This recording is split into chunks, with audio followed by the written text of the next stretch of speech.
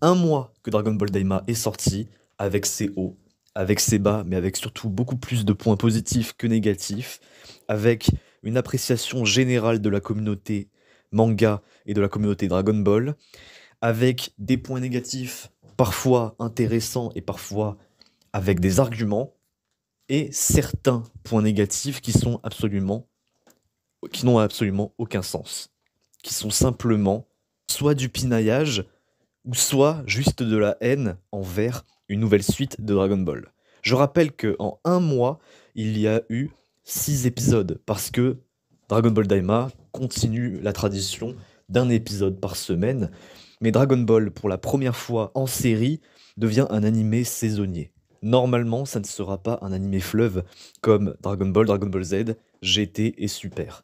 Cette fois, il y aura vraiment une saison, certainement soit de 12 ou de 25 épisodes, ou peut-être un petit peu plus, mais à la fin, Daima ne va pas durer très très longtemps. Dragon Ball Daima en 6 épisodes, c'est quoi? C'est une introduction très bien ficelée, très bien faite, très intéressante.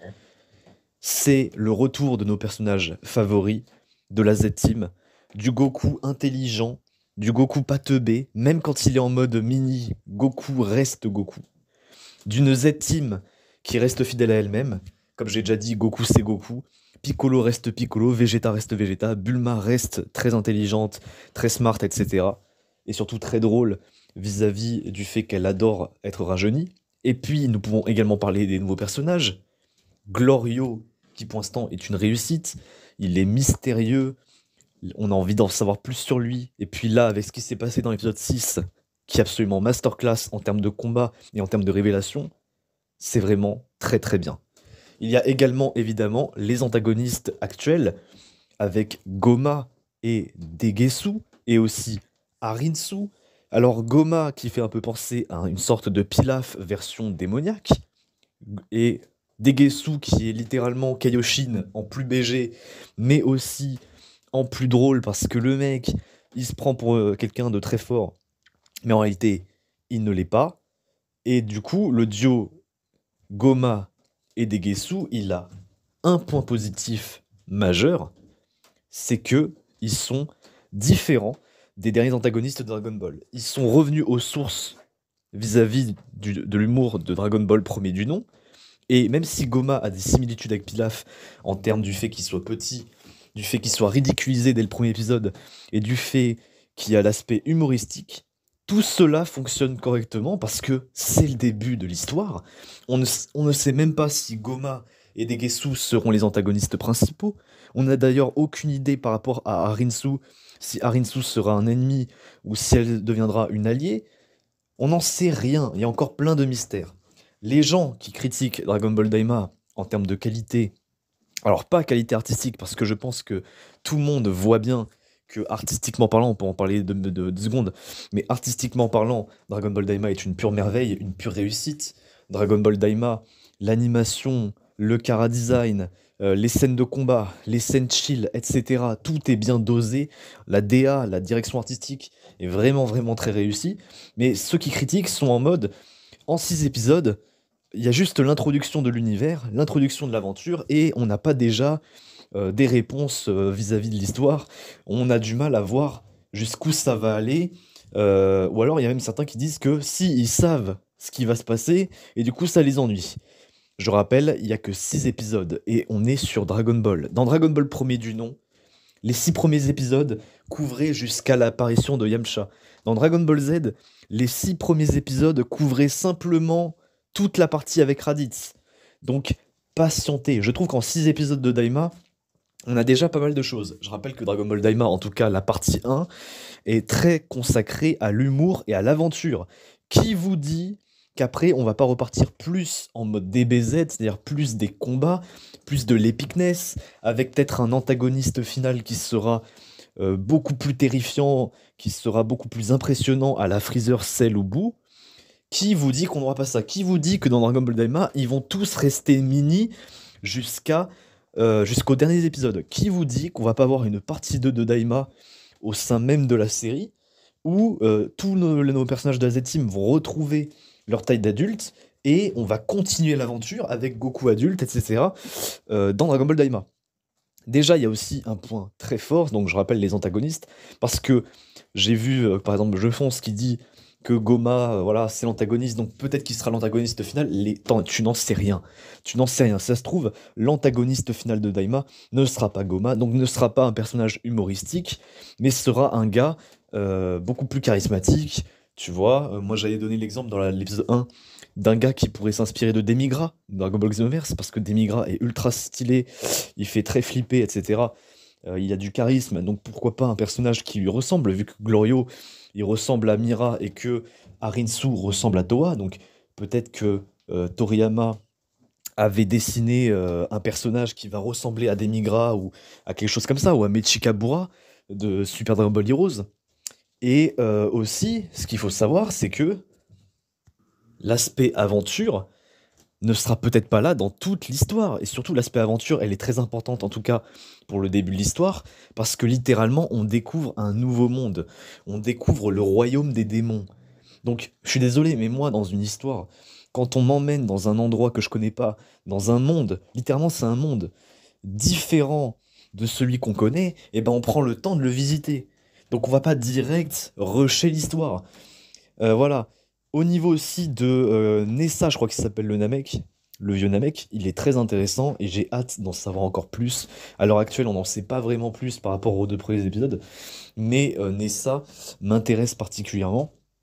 Et euh, aussi, maintenant, je vais parler vite fait du pinaillage, parce que voilà, les points positifs, vous les avez déjà dans mes deux premières reviews, vous les avez également dans mes reacts à Chef Otaku et à Je Fonce, parce que j'avais parlé aussi un petit peu de, de ce que j'aime dans Daima également dans les Reacts. D'ailleurs, petit aparté, les Reacts vont reprendre. Euh, mais le pinaillage, c'est quoi? C'est que le pinaillage dans Dragon Ball Daima, c'est littéralement euh, Piccolo, oh là là, euh, physiquement, il avait il avait l'âge adulte quand il avait 3 ans, et là, du coup, les personnages rajeunissent à 6 ans. Sauf que les gens qui n'ont pas compris, c'est qu'en fait, le vœu, c'est quoi? Le vœu, c'est de rajeunir les personnages dans un état physique d'enfant de 6 ans, mais pas mentalement. Goku, quand il est en mini Goku, en fait, c'est pas Goku enfant de Dragon Ball. Mini Goku, c'est Goku euh, arc-bout en termes mental dans le corps d'un enfant. Voilà. Et Piccolo, c'est pareil. Donc Piccolo n'est pas revenu comme à sa naissance. Et surtout, un autre point, Piccolo, euh, maintenant, il a fusionné avec Kami. Il a repris son corps d'origine. Donc, ce qui veut dire qu'il est redevenu un Namek normal. Là où Piccolo, quand il est né de Piccolo Daimao, était un Namek anormalement euh, constitué et anormalement grandi. Voilà. Donc encore ce pinaillage qui n'a servi à rien parce que littéralement Daima a répondu à cette question. Il y a également l'aspect des enjeux parce que en fait les enjeux de Daima sont beaucoup plus consistants parce que Dende a été enlevé et Dende est très important à la Z-Team, à nos héros hein, et à la Terre. Et plus de Dende veut dire plus euh, possibilité d'utiliser Dragon Ball de la Terre, parce qu'en plus, euh, ils ne peuvent pas être réutilisés. Donc ils sont obligés d'aller dans le monde des, démons. Il y a aussi, alors après, pinaillage encore une fois, pourquoi Glorio, euh, oui, pas Glorio, mais pourquoi Goma et Degesu attaquent la Z-Team alors qu'ils étaient même pas au courant de leur existence? Eh bah, je rappelle, il y a encore Majin Buu qui est encore en vie, hein, même si c'est le bout gentil, et surtout, ils ont été choqués de voir que des mortels ont une puissance aussi débordante. Je rappelle qu'à l'heure actuelle, Goma et Degesu savent parfaitement que euh, la Z-Team sont plus forts euh, qu'eux, en fait. Hein. Parce que leur utilisation de la magie, hein, ce qu'ils appellent la magie, donc le ki euh, de nos héros, en fait, est beaucoup plus impressionnante que la magie des démons. Euh, de toute façon, dans l'arc-bout, rappelez-vous, euh, Kaioshin se dit être un dieu, mais Kaioshin a été choqué et a été dépassé par la puissance de Goku SJ2 et de Majin Vegeta. Alors imagine aussi quand il a découvert Goku SJ3, ou quand il a découvert Ultimate Gohan, ou la fusion. Voilà, il a été totalement dépassé. Donc c'est totalement logique. Donc tous les pinaillages qu'on avait eu, surtout dans les deux premiers épisodes, parce que là ça s'est un peu calmé, il y en a encore du pinaillage, mais léger, mais dans les deux premiers épisodes, le pinaillage était beaucoup trop présent et heureusement la série, vu qu'elle est beaucoup plus cohérente et à mon avis euh, est beaucoup plus fidèle à euh, Dragon Ball, l'œuvre de base, que Super, même si Super a été cohérent sur certains points, mais Super a eu plein de problèmes et plein de retcons vraiment qui n'avaient aucun sens. Donc le pinaillage qui a été, euh, qui a été chamboulé par la série, parce que la série a répondu correctement euh, en fait à toutes les questions qu'on se posait. Maintenant, on les entend moins ces gens-là. On les entend encore un peu parce qu'ils sont toujours aussi aigris, mais euh, voilà.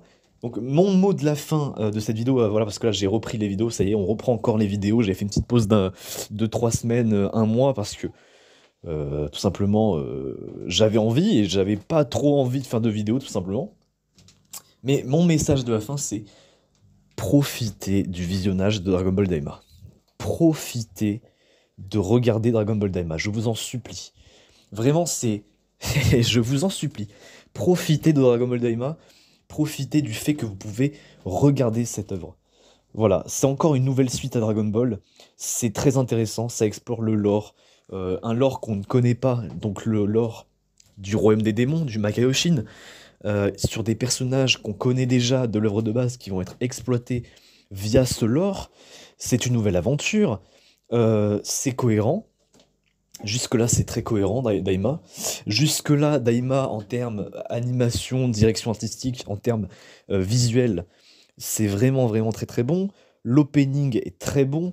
L'ending, il est très bon. Surtout que moi, ce que j'adore, c'est vraiment les hommages à Toriyama euh, à la fois dans la série, mais surtout du coup dans l'opening et l'ending, qui vraiment ces, ces, euh, ces trucs-là ont été vraiment très très bien gérés.